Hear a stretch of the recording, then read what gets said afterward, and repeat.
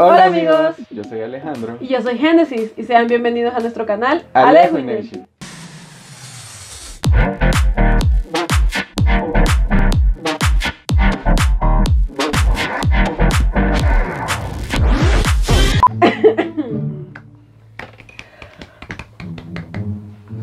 Ay, perdón.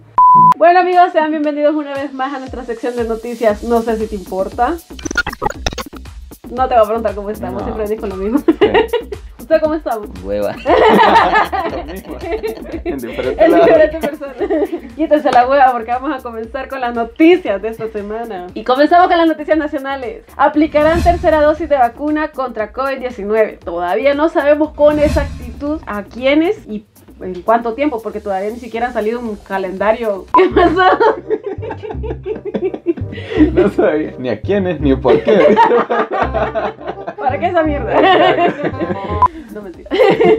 Eh, no ha salido un calendario todavía que diga cuándo van a comenzar. Lo que sí se sabe es que van a comenzar con la primera línea, que fueron los médicos, enfermeras, personas con problemas renales. Ujú. Y también en prioridad son las personas con sistema inmune bajo, que son cáncer, VIH, VIH. y otras enfermedades del estilo. Pero todavía no tenemos no tenemos la seguridad. También quiero opinar al respecto. No tenemos la seguridad de que si nos van a poner a todos. Ujú. Si van a comenzar así con las edades para que vayamos en orden, para que todos tengamos la tercera dosis. Al principio, según yo, no era para todos. Ujú. Iba a ser selectivo como que a personas que lo necesitaran bastante como tercera edad y todo eso. Pero no sabemos. Igual, Bueno. si a mí me dicen, ¿te la quiere? Dele, póngamela. Dale, que me caiga el brazo. pues sí. Que me paralice la cara. Quiero ver qué trocito me puede dar. Ay, no. Bueno, la verdad es que aquí en el país toda esta situación ha estado en constante cambio, ¿verdad? Entonces una cosa se dice hoy, otra cosa se dice la próxima Sí. semana. Lo importante y lo bueno es que las autoridades al fin se ve que están haciendo un esfuerzo, uno, para que la gente se vacune y segundo, para velar por la salud de los que están más en riesgo de padecer el COVID Ujú. y que no se empeoren y que aumente la tasa de mortalidad. Exacto. Y la vacuna que se va a aplicar es la Pfizer. No tenga miedo, por decirlo así, de que usted no se vacunó con esa, sino que tengo entendido que esta es como la más apta para una tercera dosis, una... Un refuerzo. Un refuerzo, ajá. Entonces, si hay estudios científicos, usted no se preocupe. Bueno, según estudios, se está, se está viendo que la gente no se está vacunando ni con la primera. Entonces ese es un problema. Y la gente que está llegando hospitalizada y a morir son las que no se han No se han vacunado. vacunado. Entonces, Sí, que le gusta andar del tingo al tango. Exacto, entonces vacunes, vacunes. Nada cuesta, es gratis. Y con esto comenzamos con la segunda noticia. Solicitarán carnet de vacunación en todos los establecimientos, o al menos eso se quiere, ¿verdad? Que se empiece a solicitar esto para que la gente ya pueda, por decirlo así, hacer como un seguro de que, ok, si no te quieres vacunar, es tu decisión, no te vamos a obligar, pero no jodas. No andes en la No, calle. Exacto, no andes contagiando a personas que tal vez sí se vacunaron y que a pesar de que no se van a morir pueden pasárselo a otras personas Exacto. y así, así, así. Porque a pesar de que hay personas que se han querido vacunar, tal vez su, su sistema inmune es demasiado propenso a sufrir Ujú. demasiado secuelas o cosas Ujú. así, entonces no se dejan a las personas vacunarse. Entonces siempre hay que tener precauciones de no contagiar a la gente. Y estas personas que no quieren vacunarse, pues que anden por su vida como quieran, pero que no anden contagiando a otros, no anden poniendo en riesgo a los demás. Lo importante que podemos ver aquí es que al menos se les está tratando de coartar la libertad que tengan, Exacto. ya que están actuando irresponsablemente. Exacto. Entonces, que se vean obligados, así como para manejar se ocupa una licencia, para un montón de cosas, permisos, lo mismo para andar en circulación. Ujú. Creo que es un paso bien importante si se llega a aprobar, porque tiene que ser cooperación de todo, tanto empresas como empleados y la persona en sí. Exacto, ¿verdad? que se cumpla también. Ajá. Porque si van a exigir, que se cumpla la exigencia. Exacto. Que es lo, es, lo, es lo triste de que hay personas que no quieren y andan por la vida así. Y están evitando que te- por fin salgamos de esta pandemia. No dejan que termine la pandemia porque las personas no se quieren proteger. Y también, o sea, esta es una que quiere solicitar el carnet de las Sí. dos dosis ya puestas. Y está la otra que también quiere solicitar a obligar a la gente a ponerse la vacuna. Que en varios países estuvimos leyendo de que ya está aprobado eso. Y también en varios países está aprobado lo de, de solicitar carnet para, para entrar a negocios, bares, discotecas, restaurantes, hospitales, todo. Todo todos los lugares. Iglesias. Iglesias, centros de salud también. Eso es lo que está buscando la gente, que se obliguen a que se lleguen a estos a estas cosas tan restrictivas para que la gente haga caso, pues. Porque solo el ¿cuánto decía? 40%. El 42%. 42% de la población está vacunado con Al menos una con la dosis. primera Con la, Ajá. no, con la primera y segunda dosis. El, es el, el 40 es el total. el El total. 42% Ajá. es el total que están vacunados con la primera y segunda, dosis. Y todavía hay gente que solo tiene la primera dosis, hay personas que no tienen ni la primera, habiendo vacunas. Entonces, ¿cómo nos quejamos de que nos enfermamos, de que el sistema de salud es malo, de que, que ay, no se puede andar en la calle tranquilamente, de que ay, que no sé qué? Si no, la gente no quiere hacer La verdad, estas personas que no se vacunan son las que menos derecho tienen a exigir un cupo en un hospital, en una UCI, y mucho menos a exigir que se les trate de salvar la vida si ni ellos lo, lo han intentado Exacto. pudiéndolo hacer. Exactamente. Entonces, hay gente que todavía sigue creyendo que el COVID no mata, no existe, que se lo inventaron, que en la vacuna te van a rastrear. ¿Usted cree que al gobierno le interesa seguirlo? No, entonces vacunas. Están preocupados de eso y al final en las redes sociales a uno lo vigilan imposible. Amigo, ¿no? usted dice quiero unos zapatos y le aparecen zapatos. te quiero, escuchan, te escuchan. quiero unas orejitas de Hello Kitty color morado y le aparecen. Entonces usted cree que van a desperdiciar una vacuna con tanta tecnología para seguir. No, con esto lo siguen. Sí, tal cual. Entonces ahí, ahí la gente va a tener que vacunarse. Si De le hecho, gusta el pijín se va a tener que vacunar. Exacto, más fácil todavía. Y yo siento que, vaya, por ejemplo, no creo que debería existir la posibilidad de que médicos o enfermeras anden sin su vacuna. Eso sí debería ser 100% obligatorio. Y ya ha pasado de que, eh, hace poco leí de que, no sé, unos cuatro meses atrás, una enfermera murió en el, en el Seguro Social Ajá. y no tenía ni una vacuna. Mm, a esta altura. Sí, Y la increíble enfermera. que personas que se dedican a la salud no crean. Es el colmo. Viéndolo, Viviéndolo, sí, viendo sí. mu- muerte y tras muerte. Y bueno, pasamos ahora a noticias internacionales. Cambia tanto el color. Inyectan anticonceptivos a hipopótamos de Escobar. ¿Qué son los hipopótamos de Escobar? Pues Los hipopótamos de Cuba. eh, Pablo Escobar, el famoso eh, narcotraficante colombiano, se hizo un, un zoológico privado en donde llevó un hipopótamo macho, decía, y tres hembras. Y pues de ahí, con eso de que lo capturan y muere y toda la cosa, pues el zoológico quedó básicamente ahí. Y se multiplicaron y se multiplicaron y ahora hay hasta 80, creo. 80. 80, ¿verdad? Entonces, hay una sobrepoblación de hipopótamos en Colombia que son peligrosos tanto para la fauna, ajá, para el ecosistema, como para las personas. Porque Eh, se encuentran en estado salvaje, no están contenidos ni nada. Entonces, están buscando la forma de que dejen de reproducirse. Ya han puesto las opciones de sacrificarlos, que creo que es lo más triste. La opción de castrarlos, pero tengo entendido que es como que muy costoso y peligroso a la Sí. vez. Y también es difícil capturarlos, leí. Y ahora están buscando la forma de inyectarles anticonceptivos por forma como dardos. Dardos. Que es una forma un poco más barata, pero que al mismo tiempo todavía no está como que 100% seguro de que funcione por lo- la cantidad hormonal que tengan estos animales. Y que es bien difícil estudiarlos por eso, porque son salvajes y son un poco Sí. agresivos. Cada hipopótamo necesitaría al menos tres dosis Ujú. para continuar el proceso, ¿verdad? E igual los estudios los hacen a través del excremento de ellos, Ajá. midiendo el nivel hormonal que presenten ahí. Entonces es difícil, porque de por sí el hipopótamo es un animal bastante agresivo. Sí. Imagínate andarle buscando la popó. Sí, meterte ahí con ella. Sí. Uno de los problemas que leí que contrae esta, esta sobrepoblación de hipopótamos es la contaminación, porque sus, Es ese. sus heces, ajá, al caer al agua, pues ah, matan peces y después es el agua que se junta con la, lo que bebe el humano Mm. y muchas otras cosas, ¿verdad? Que, que al final los hipopótamos no tienen la culpa. pero- Escobar la tuvo. Exactamente. Exacto, exacto. Eso- sacar de donde no. Exacto, ese es la proble- el problema que contrae que el humano toda la vida quiera tener lo, lo salvaje de adorno, pues. Pero yo, yo creo que el gobierno puede hacer algo. Puede Eso es capturar, lo que están buscando hacer. puede buscar alguna asociación que los capture y, y re- eh, reinsertarlos en otro lugar. Por ejemplo, llevarlos no sé, a su hábitat, que es, es sí. África. Son 80. Y Colombia no es un país muy rico, que. Eso Pero hay, es asocia- hay asociaciones de que, su- que trabajan. No, pues sí, de Eh. que hay, hay. Bueno, de Pero poco en poco imagino se que- Ajá, Sí, para exactamente. la cantidad. Exacto. Habría que ver si realmente al gobierno le interesa, ¿verdad? Hacer algo por También, ellos, porque exacto. sabemos que el, en muchas, muchos gobiernos ni les interesa ni ayudar a los perros de la calle, mucho menos animales que es como quien dice, ay, mátenlos y ya. Más bien milagro no los han matado, que han Sí. querido hacerlo ya. Pero sí han fijado que los narcos siempre buscan zoológicos. Es que les gusta lo exótico. Y luego pasa como aquí en Joya Grande, Joya Grande. que Lo mismo. capturan a todos los- dueños. Y quedó el zoológico ahí. El zoológico a expensas de la población, porque para Joya Grande la población población estuvo haciendo que donaciones, que hasta para poderle dar de comer que a la Sí. jirafa y a los diferentes animales que había. ¿Te acuerdas que nos dormimos? Sin saber qué era de narco.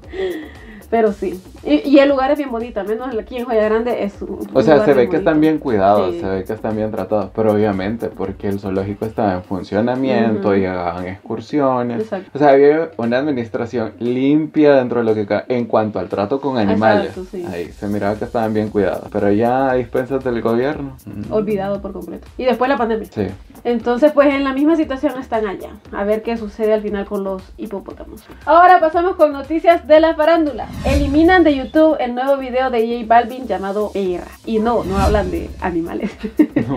hablan de la mujer. Todavía no se sabe si este video fue bajado por la plataforma de YouTube por las constantes críticas o por ellos mismos.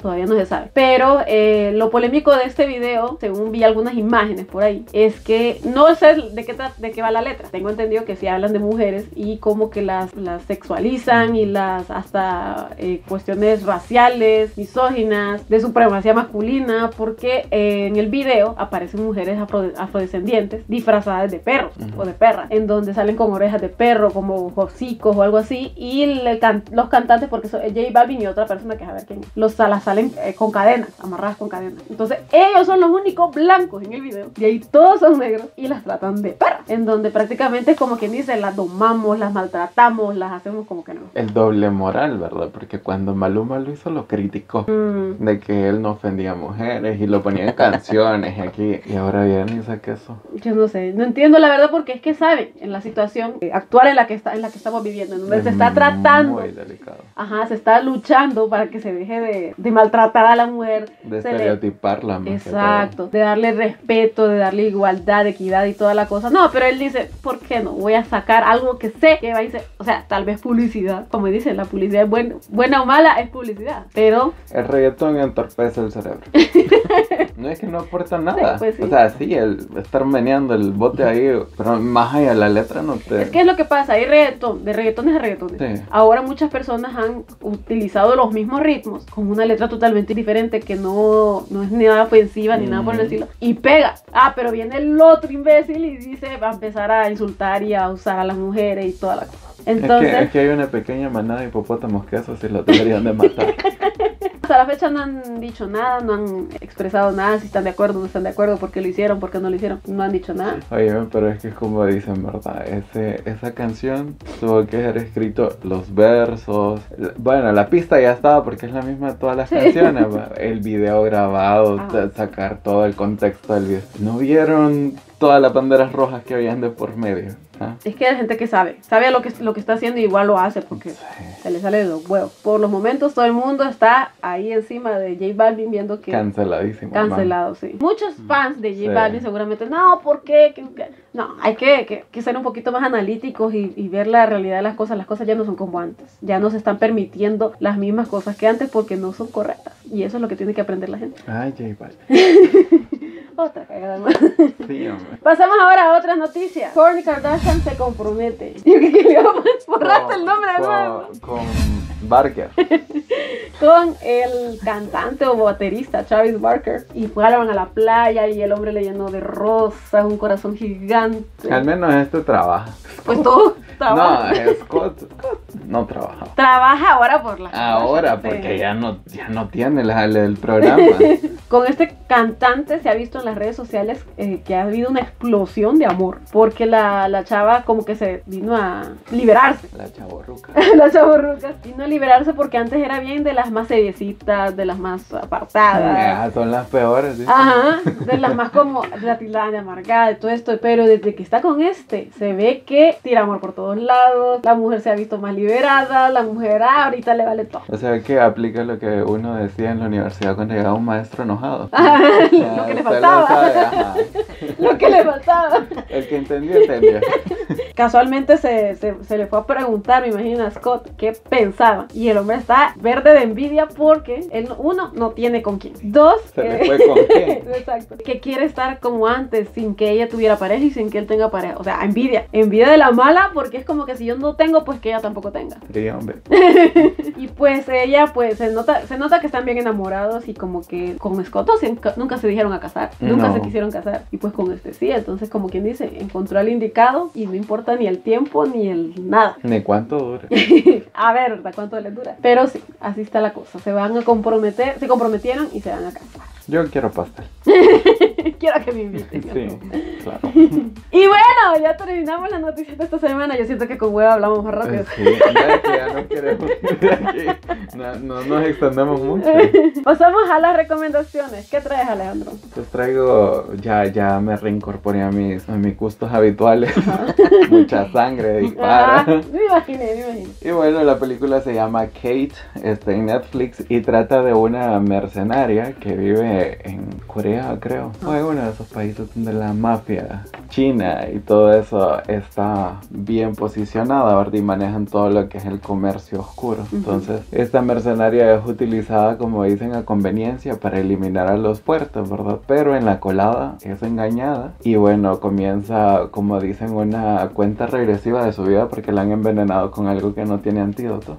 Y desde entonces comienza esta cuenta regresiva y ella una micro venganza para destruir todo aquello que le hizo daño a ella. Es una película de mucha acción, no hay partes muertas para ver mucha sangre, muchas balas, muchos ruidos. No se va a aburrir. Lo que le encanta, Alejandro. Claro.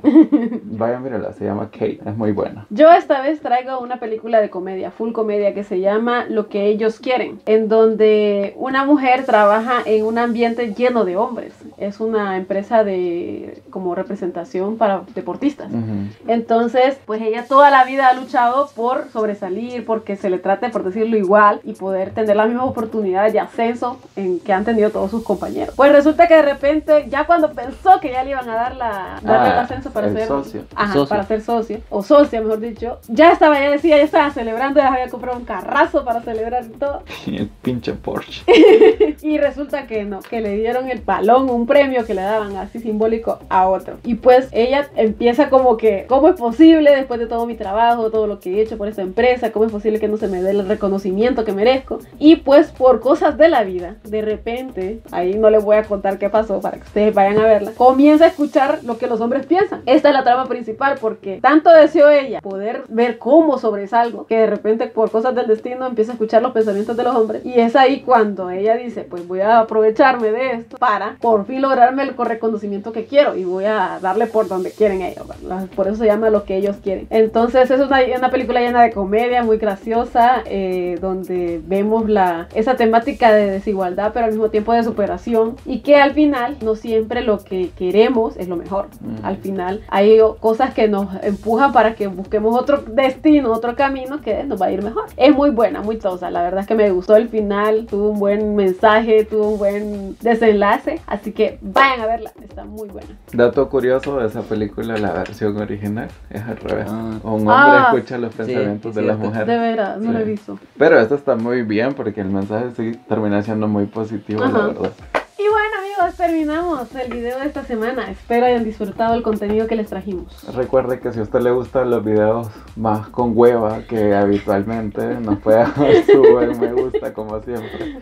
Y si no se ha suscrito, le invitamos a que se suscriba y active la campanita de notificaciones para que YouTube le avise cada vez que subimos un nuevo video. No me ahogo. y bueno amigos, nos vemos hasta la próxima. Bye.